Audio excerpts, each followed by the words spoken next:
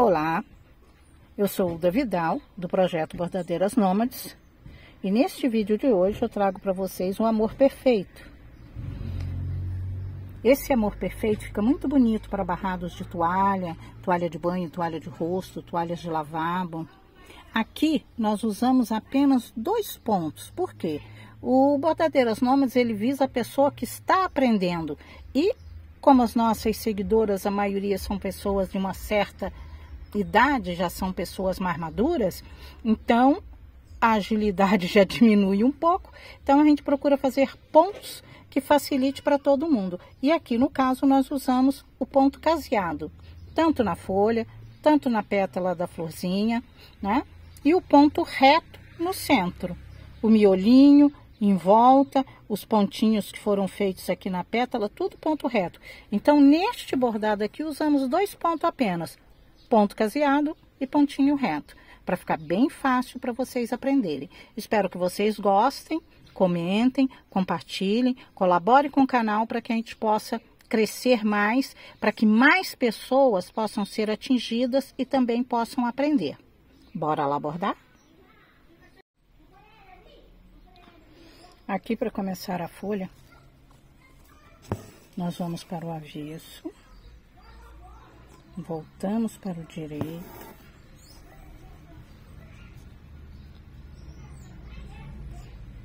vamos para o avesso novamente, dessa forma prender o fio. Como nossa folha está por baixo dessa pétala, que eu já fiz para adiantar, então a gente vem aqui no cantinho e vamos preenchendo com pontinho reto.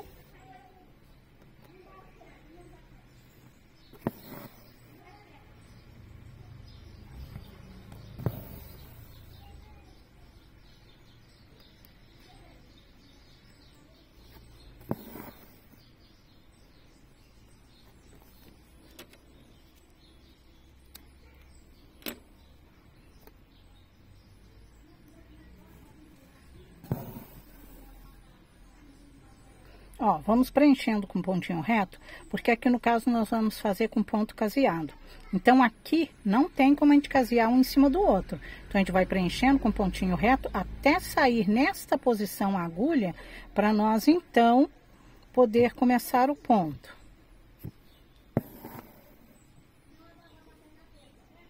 Ó, venho aqui. Vou sair aqui nessa beiradinha. Jogo meu fio pra cima, volto aqui.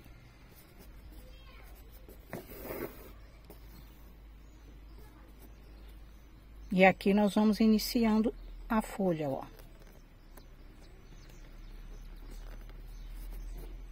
Sempre com fio por baixo da agulha, para que forme o caseado.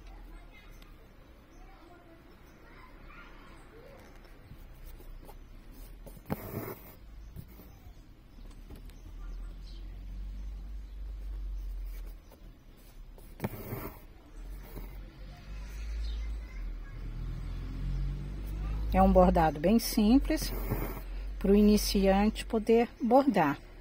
E quem já borda também.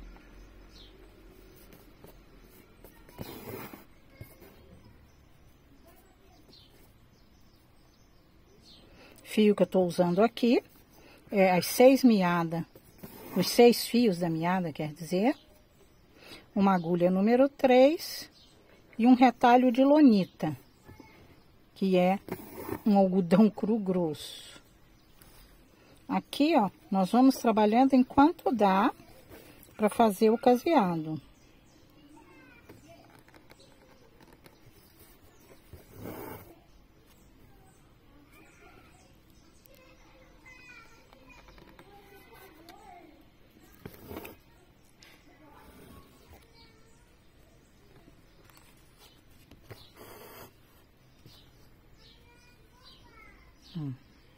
Até chegar na pontinha. Chegou aqui na pontinha, eu vou fechar o ponto indo pelo lado de fora. E vou voltar aqui do ladinho, ó.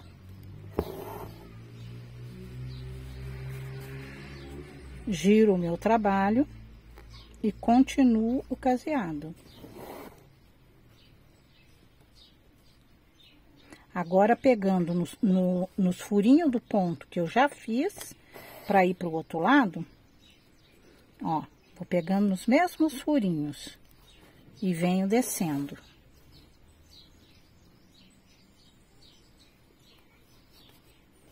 Se você quer ajudar o canal, assista o vídeo. Se você não quer assistir completo, pelo menos uns 4 minutos do vídeo e não pule a propaganda, porque se você pula, nós não conseguimos receber absolutamente nada do YouTube. E a pequena ajuda que a gente tem do YouTube é o que ajuda em combustível. Porque para quem não sabe, nós moramos numa casa de lata, que é uma Kombi, para poder levar o nosso projeto para pessoas que não têm condição de pagar curso. E no momento que você vê apenas um pedacinho do vídeo e ainda pula a propaganda, nós não ganhamos absolutamente nada. Então, se você puder colaborar com o projeto, colabore dessa forma. Assista o vídeo, comente, compartilhe, manda para uma amiga ou um amigo que gosta de bordado. Se quiser se tornar membro do canal, é só ir aí abaixo do vídeo, tem lá membro, clicar ali e o próprio YouTube já dá todas as explicações necessárias.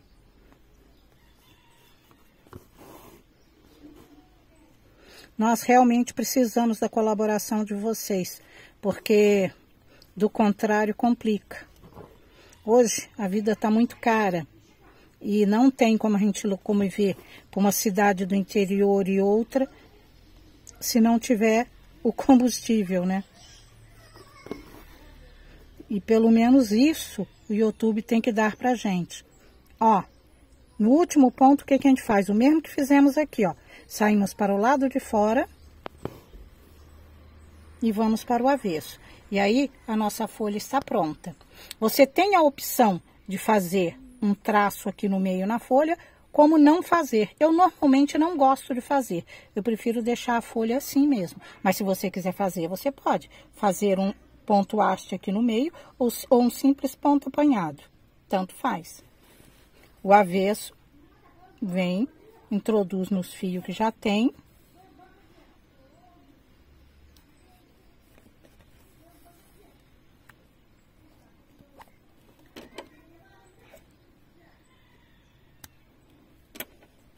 Corta o fio. E sua folha fica assim, ó.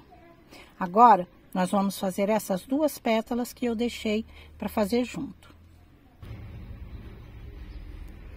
Aqui para a pétala, nós já temos os fios, né? Então, a gente vem aqui, prende o fio da gente aqui, para iniciar o bordado. Porque dessa forma, não preciso prender deste lado.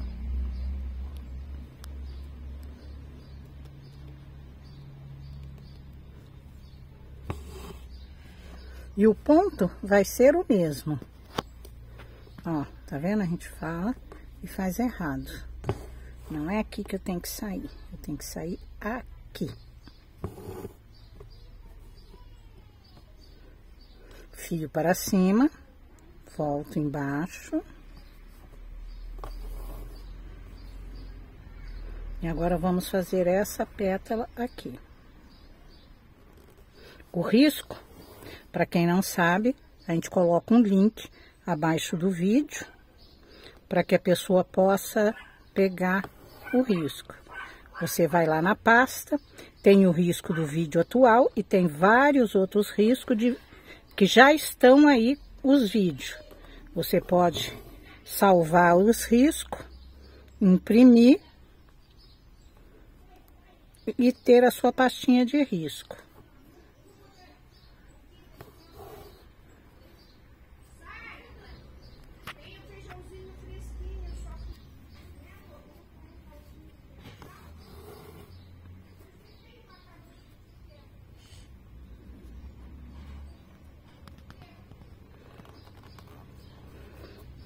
Sempre o fio por baixo da agulha, não pode esquecer.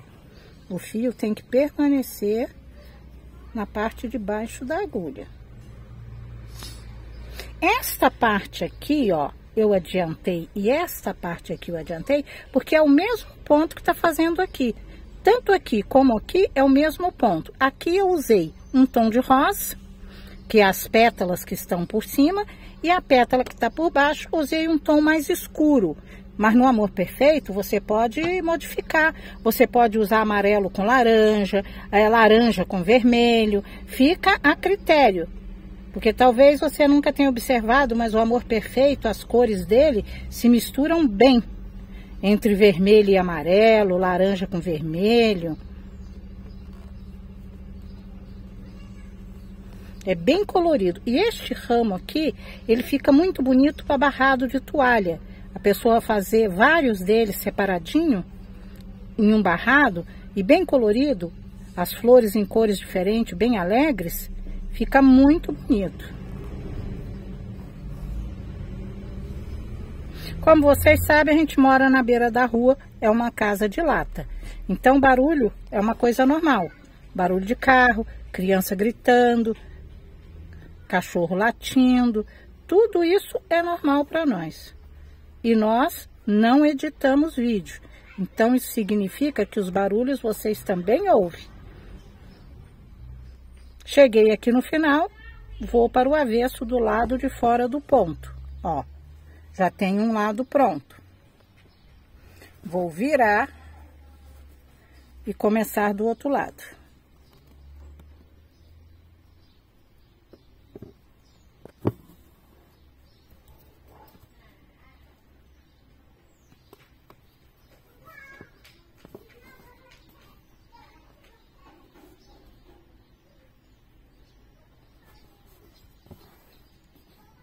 A parte de baixo do ponto tem que procurar dar bem pertinho um do outro e às vezes até no próprio buraquinho. Porque como eu já ensinei para vocês antes, nós temos aqui um espaço maior do que o espaço aqui. Então a gente faz aqui bem pertinho e aqui abre-se um pouco. Ou o esquema do ponto mais curto e um ponto mais longo para poder não ficar aberto. Lembram? Já ensinei isso nos outros vídeos. Ó, eu tô com o fio aqui, em vez de vir aqui embaixo, eu pego nessa altura aqui, volto e faço um ponto, ó. Feito esse ponto, eu vou lá embaixo e pego o ponto até em cima. E com isso, eu vou fechando, ó. Um ponto mais curto para ocupar o espaço. E um mais longo.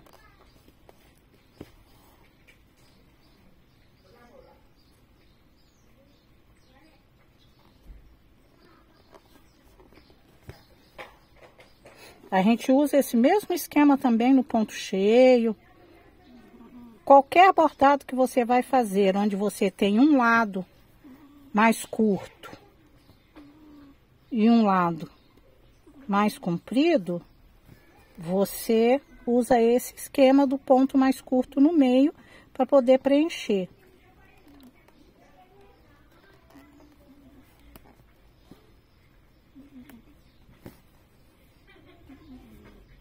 E se vocês ouvirem alguém roncando aí no vídeo, gente, não é a Anne roncando, não. É porque a Anne tá aqui gravando para mim. A Chay a Chay tá bem aqui, ó. Ó. Cadê, cadê? Aqui, ó. Tá bem aqui, ó, no chão, perto do meu pé, deitada dormindo. E tá roncando, acredite? Roncando. Isso quando ela não sonha, que fica lá resmungando, sonhando.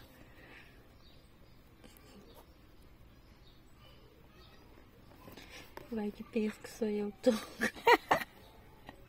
a Anne não, a Anne tá aqui gravando o vídeo pra mim. Ó, aqui, ó, nós vamos descendo, ó.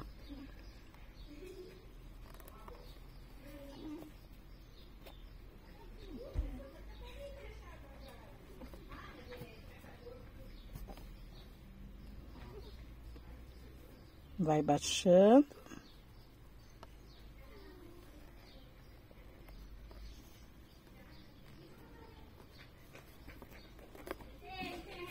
Aqui o fio ficou bem curtinho. E aqui vamos encerrar, ó.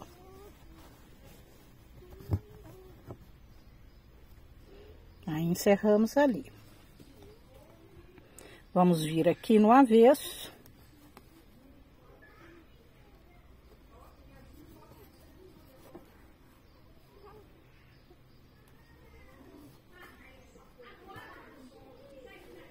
Arrematamos.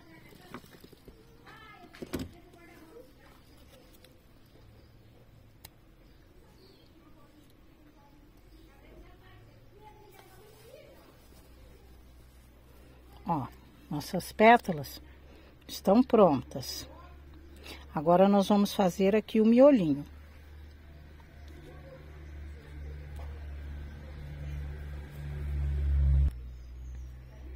Eu escolhi esse amarelo aqui para fazer o miolinho pequenininho.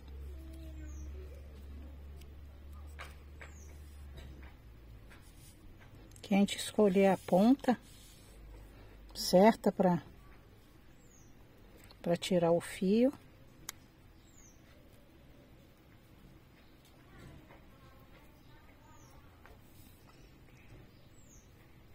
A agulha que eu tô usando aqui eu já falei, mas vou repetir. É a agulha número 3, porque para trabalhar os seis fios, ela é ótima.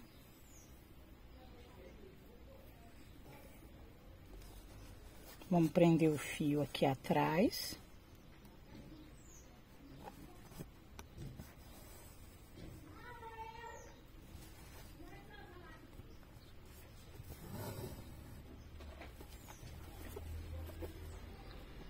Vamos sair aqui nessa pontinha aqui, ó. Ó, bem assim, ó. E aqui vamos fazer pontinhos retos. Preenchendo esse espacinho como se fosse um leque.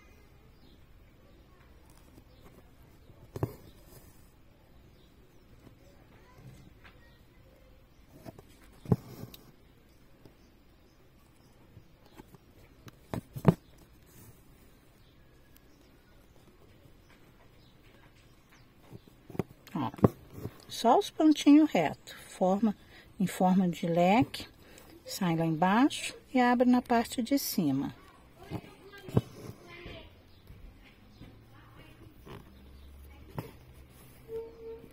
Pronto.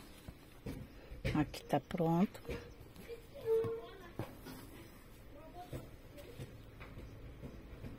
Arrematamos. Cortamos. Agora vamos fazer os outros pontinhos retos.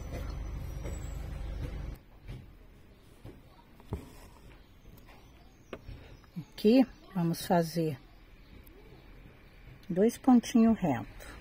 Eu escolhi o marrom, mas você pode escolher a cor que você quiser.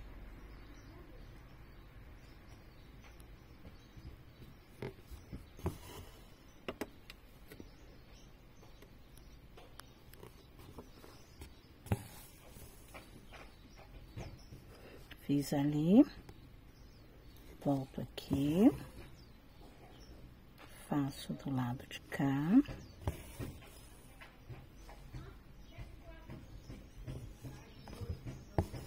Espero que vocês gostem. Se gostar, não esquece, comenta, compartilha. Agora vamos aqui.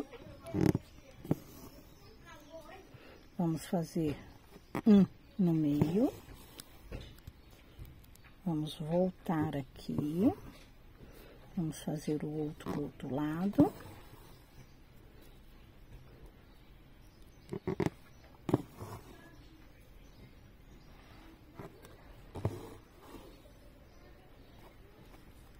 Isto, né? Só pontinhos retos.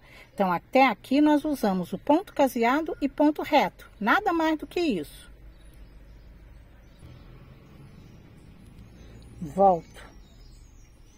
com o meu marrom aqui, ó. E entro aqui, ó, neste finalzinho aqui. Ó, dessa forma. Saio com ele deste lado. E entro aqui. Vou fazer isso duas vezes. Para ficar bem visível essa parte. Seria como se fosse aquele copinho da flor.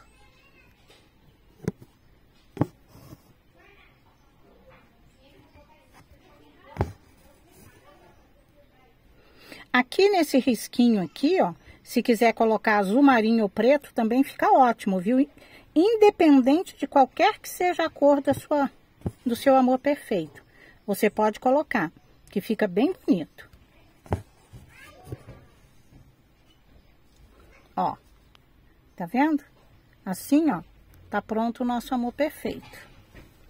Agora aqui, eu vou arrematar. Eu não sei se está dando para vocês ouvir, mas tem uma criança batendo uma bola aqui que tá o tempo todo com aquela bola, tuque, tuque, tuque, tuque.